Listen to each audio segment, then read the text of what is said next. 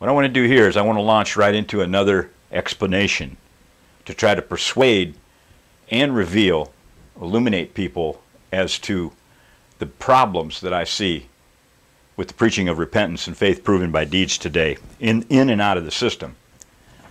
And we'll touch, of course, on both sides like we always do. I was thinking of these things over the past few days as we've taken some time to rest. The sum of all truth, the summary of all truth, and then the opposite of all truth in what all this false theology, this Arminianism or Calvinism or whatever ism it is, and we get labeled a lot of times with different things, but we're not on anybody's particular ism. It doesn't make any difference. They're all in error to some degree, some worse than others. But the bottom line, they're all limiting man's ability to obey God. So that said, it seemed to me that the sum of all truth in the scriptures is to love God with all your heart, mind, soul, and strength, and your neighbor as yourself, and on that hangs all the law and the prophets, like Matthew 22 said, like Christ told them. That was the greatest commandment. That's the way to inherit eternal life. But was that a new truth with Christ? No, it's over appears over a hundred times in the scriptures, all the way back to Moses in Deuteronomy, where he says, "You shall love the Lord your God with all your heart, mind, soul, and strength." In Deuteronomy chapter six, and he goes on to say and tells them what what uh, you must do to command these things. You teach them diligently to your children. You shall talk of them when you sit in your house, and when you walk by the way, when you lie down, and when you rise up.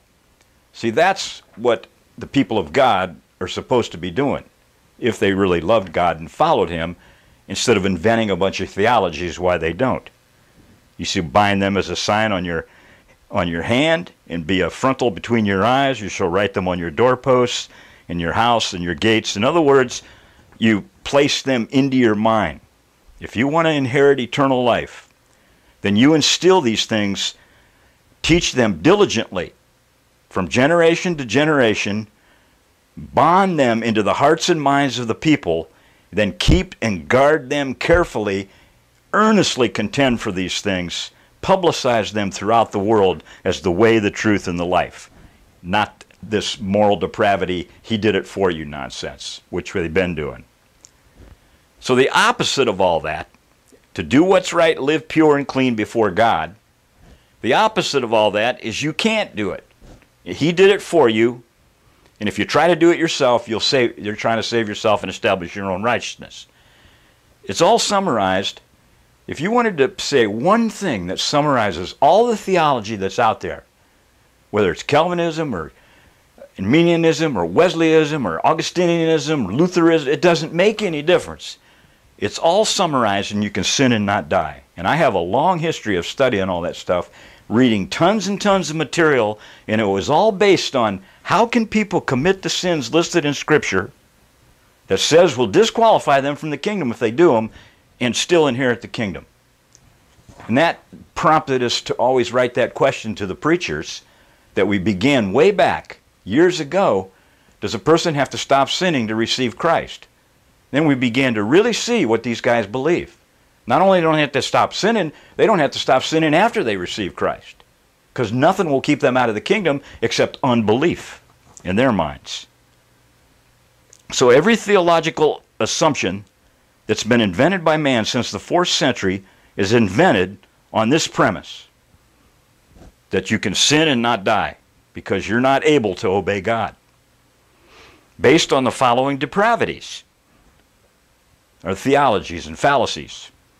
Moral depravity, people born in sin, they're inbred with the sin nature. They have a, some corruption within their will that they can't obey God. They're unwilling. All this other stuff, all some form of it. And then the finished work of Jesus Christ, He did it all for you. He died and obeyed for your place. And you got the satisfaction and the substitution and the atonement and all the alternatives to obedience. All those things. All those things invented theologies. Some people got the tulip. You know, the faith alone nonsense, the trust, uh, receive trust and rest, that he has to grant you repentance if you're among the elect, unconditional election, uh, moral depravity, irresistible grace, limited atonement, all that nonsense that they came up with, that they think they found somewhere in the scriptures. Of course, they think they found it, but it was never never even dreamed of among the early saints who gave their lives for Christ. So all these things come down to you can't you can sin and not die because you're morally depraved, you got a corrupt nature. The finished work of Jesus Christ provide, has a provision that takes care of all that for you. There's a moral transfer of His virtue to you that took place. He's your righteousness, not you doing what's right, but He's your righteousness. If you try to do what's right, that's establishing your own righteousness and you're saving yourself. And we'll, we'll talk more about that. And of course, the substitution, the satisfaction, uh, whether it's penal substitution or moral government, whatever it is, it's all nobody's perfect, nobody's righteous, all born sinners. You're the wretched man, the chief of sinners, inability, lack of ability, hindered free will. You're saved in sin. You never stop sinning. You sin daily in thought, word, and deed. If you say you have no sin, you're a liar and the truth is not in you. Everything you do is sin. Temptation is sin. It's not of works. Nothing you do matters, and it's judge not, lest ye be judged.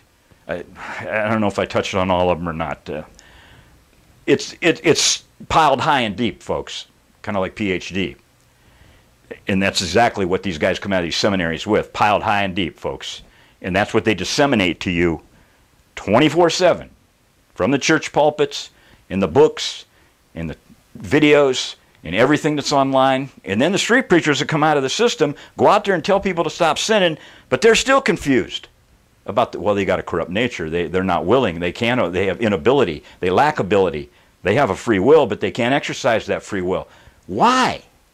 Where in the scriptures is that dealt with?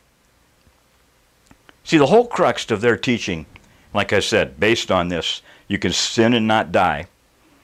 Thou shalt surely not die like in genesis chapter 3 their whole crux of it could be summarized in turning the verses around in john, 1 john 3 he who sins is of God. He who does not sin is self righteous.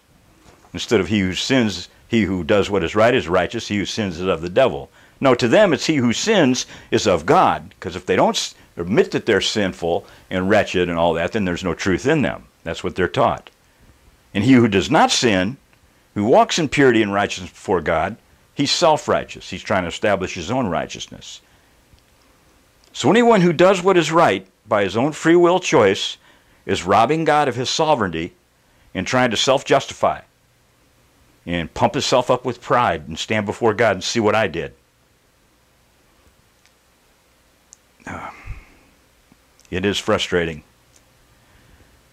But nobody seems to get this. Very few people seem to get the ability of man. God's doing his part, folks. He's always doing his part to convict the world, not willing any should perish, stretching forth his hand. He's always there to bring someone through repentance. But don't tell me they've got to be justified first in their sins before they can come clean with God. No, there's a process of coming clean with God. And that's that process of repentance, the godly sorrow that worketh repentance unto salvation. That's what. See, what did what, what disqualifies a person from the kingdom in their, in their mind? In the system, only what? Unbelief. That's the only thing. He that believeth not is condemned. John 3.36. Of course, that means he who does, obeyeth not. In the other scriptures, that word, if you look it up, oh, believe is obey in the same thing in Scripture. Just like Peter used it in the sense in 1 Peter 4.17, for the time has come for judgment to begin at the house of God. And if it begins with us first, what will the end of those be who obey not the gospel of Christ? The same thing Christ said in John 3.36. Same thing. He, he that obeys not the gospel will not see life. So that kind of blows the whole thing away. But yet, because of their theology, they turn obedience into trust on the premise of inability that there was a provision had to be made in the finished work of Christ. So man then can sin and not die. He can commit the sins that are listed in the scriptures clearly to disqualify you drunkenness and pornography and, and uh, perversions of sexuality and adultery and all that other stuff and not die. And he just blames God then because he's God's asking him to do something he's not capable of. So he has to trust in the preacher's then offering him this free gift, this this free grace. That's how they dispense this uh, mark of the beast, so to speak, in Revelation 13, where it talks about there. They're, what they're doing is they're dispensing this as a gift to the people that they can be saved in their sins, promising them liberty while they remain slaves to their corruption. That's how you receive that, that uh, mark of your flesh. You don't crucify your flesh. It's uncrucified passions and desires of the flesh. See, the sins that are listed in 1 Corinthians